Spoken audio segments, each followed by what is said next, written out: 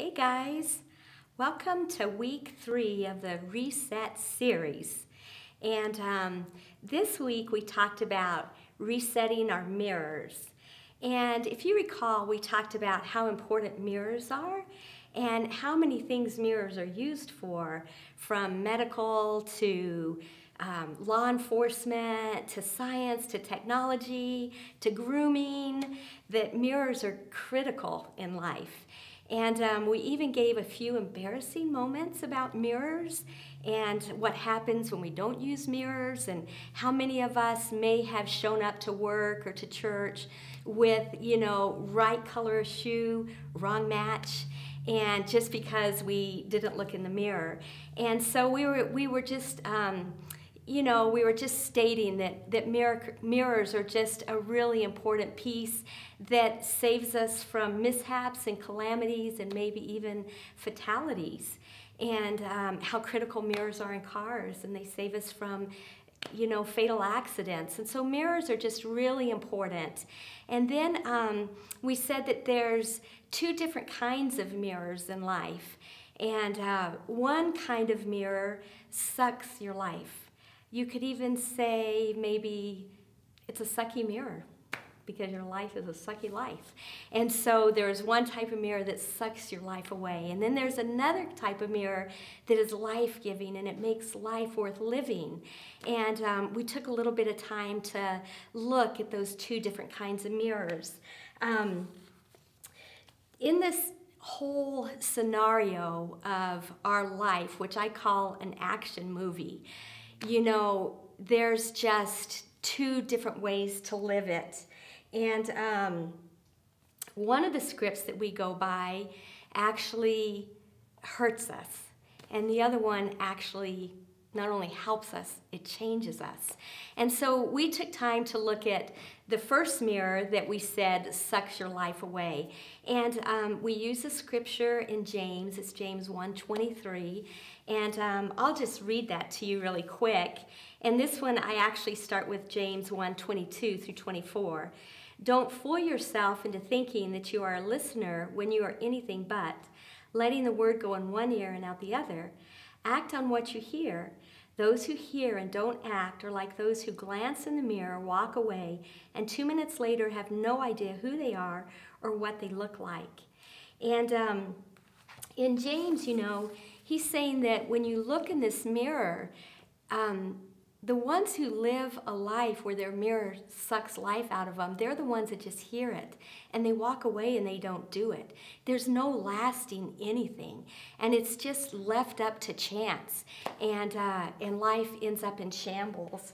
And so, the this this one mirror that that um, we're saying sucks life, it's we it's it's the kind that if you if you think about in our worship set think about the song um, that, that God is never going to let you down. And think about that song and think, can I sing those words? Um, do, do I get a lump in my throat when those words come up? Why, why do I have such a struggle? Because if I had to be honest, God did let me down. Or think of the song Good, Good Father. You can't sing those songs because good, good, and father don't go together. This is a pretty good indication which mirror you are looking at for life. And, um, and we just said a few things about, you know, this particular mirror. It, it, shapes, it, it shapes your whole story. Um, you know, you base this mirror on your circumstances. And so so this happened and so therefore and it's it frames god. This mirror frames god. So you know um, my mom died, I got diagnosed with cancer, my son's in jail, whatever, whatever the story is. And, and, it, and your circumstances tell you who God is. And it shapes, it shapes your mirror. Those things shape your mirror. Another thing is your assumptions, your expectations. You know, how many times have you heard, oh, this baby's gonna change my life? if I could only marry that guy, or if I could marry that girl, or the grass is greener, you know, there's a better job, there's, there's always something, there's some expectation. Those things frame your mirror and they shape your life. Um, another thing that really frames that mirror is lies. And this is something that maybe we're not as comfortable recognizing, but when we chase lies, it really frames our mirror. Like, um, for example, Sharon, nobody wants to hear what you have to say on Mother's Day. You don't, you don't know how to get up and talk in front of all these people. You're, you don't know the scriptures like Dale. You're not as smart as Dale. Those are all lies. And it's easy to chase those lies. And it's easy to base our life on those lies. And um, those are all things that, that shape our mirror. And you know, when you start to, to uh, let circumstances frame your God, when you let assumptions and expectations frame your God, when you let lies frame your God, uh, yeah, God will let you down. So, one thing about this mirror, my mirror, my story that sucks my life, is you know, has anybody ever titled their life, It's Not Fair? Well, that would totally describe this type of mirror. And um, I can't be certain because I'm not a theologian, but I think it's not fair might have started in the garden with the serpent. I think that idea might have come from him. And so, um, all these things that shape our mirror, what happens is they crack our mirror. And um, cracked mirrors distort our view of God big time. Cracked mirrors suck the life out of us, they reduce us to dry bones. Um, cracked mirrors, they suck faith and promise, and they suck a future. Cracked mirrors, they are guaranteed to put a chip on your shoulder. Cracked mirrors judge others, and cracked mirrors bite others. And um, if you find yourself in any of these places, you know that you are living out your life based on a mirror that you shaped, and your mirror is saying who God is. Um, then we said, you know, let's consider a few stories. And we went through a few stories of great Bible, you know, heroes. And, and we mentioned Lydia, who is a dear girl who goes to our church, who is young, battling stage four cancer. And honestly, she's the only person I've ever met who is grateful for chemo. And, um, and why is it that you know, there's people like Lydia and there's people like David in the Bible who they run to their giants and they don't run away from them. And uh, why is it that there's people like that? And I would say it's because they have a different mirror that they're looking out of. Um, this other kind of mirror is a life giving mirror, and it's a supernatural mirror. Um, this mirror guarantees to change my life, it guarantees to change my heart my perspective. It changes everything about me. Now, it might not change my circumstances, but it might. And it may not change the outcome of my circumstances, but it might. But it still changes everything about my being and my existence, this other kind of mirror. And um, this mirror is in the shape of a cross. And uh, not only is this mirror an object, not only is this mirror the Bible, it's written words, but also this mirror is a person. And so it's words and it's whispers. And this mirror will change everything about your next breath. It might not, you know, undo your past, but I guarantee you it will change every day, starting now, of where you're going. Um, this mirror has the potential to wash dirty consciences and take shame off. There's a great verse, it's in Mark 140. And um, it says, A leper came to him begging on his knees. Have any of us felt like we need to beg? Jesus, I'm in such a mess. Can't you help me? I just hate my life. I hate what's happening. I hate all the sorrow and this anger or this addiction or whatever. Jesus, and have you ever found yourself just begging? And he says, um, he's, he's begging on his, his knees and he says, If you want, Jesus, can you cleanse me? He didn't even want Jesus to heal him, he just wanted him to wash him. And deeply moved, Jesus put his hand out and he touched him and he says, I want to be cleansed.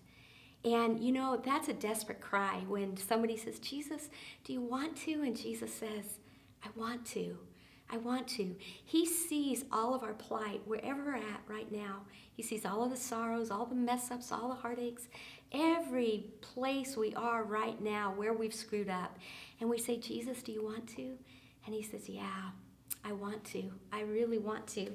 We have an assurance that Jesus will come running to our aid. We just need to say, you know, Jesus, here's not only my cracked mirror, but my mirror is actually broken and in pieces. And here's my broken mirror. Is there anything you can do with this, Jesus? And he says, Yeah, I want to. This mirror, it's a redemptive mirror. Um, it isn't cracked. There's no lies in this mirror. It's true. What you read in this word, it's true. So when Jesus says, I will never leave you, it's true. Jesus isn't going to go postal on you. He's not moody. He's not in a bad mood. He's not going to throw over a table. What you read is really true. Now, it may not be what you feel, but it is true. And that's the mirror that you need to look at because that's the one that's going to give you the strength and the faith and the hope and the purpose for your next breath. Um, the mirror of the cross gives life and breath to my every dry bone. And um, this mirror makes my insides tender. One thing you can be sure of is that this mirror, it always has a promise for your problem. And his promise is true. It always has a road back. There's always a second chance. There's always new mercies. Every single day, there's new mercies. There is a comforter. For your great sorrow, for your great grief, you can be sure that every tear has been bottled up in a bottle, and every tear is a prayer, and it has not gone unnoticed or unheard. You're never alone. It's true.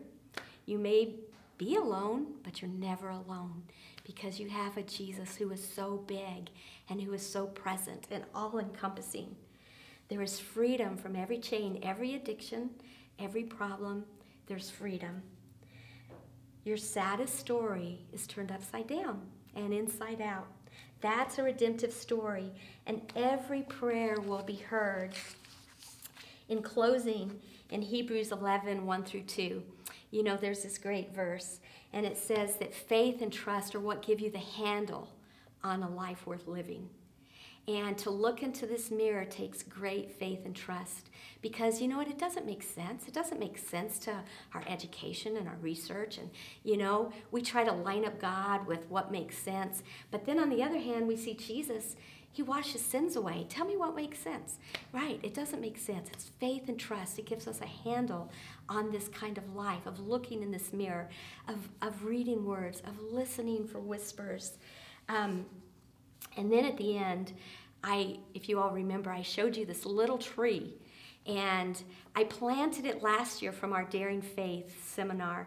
And the Daring Faith, we all got these little trees. I don't know how many of you all planted these little trees. They were this big. They didn't have a they didn't have a hope or a prayer. They were so little. And I planted it mine in a pot. And, um, and I closed it out with showing you my tree now, and my tree is about this big. I mean, it's probably five or six times in its size, still in a pot, not ready to put in the ground yet. But every time I see that tree, it sits by my front door, it just really reminds me that you know a life worth living it doesn't just it doesn't just happen like overnight. When you see somebody who has great faith or great love or great character it happened doing one thing and doing one next thing and so this little tree is my reminder to just do the next one thing. Like, come on, Sharon, the next one thing is don't chase that lie.